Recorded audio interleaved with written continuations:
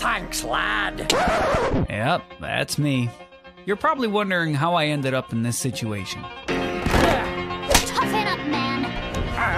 Ooh, I've missed you. cuss you De Spell.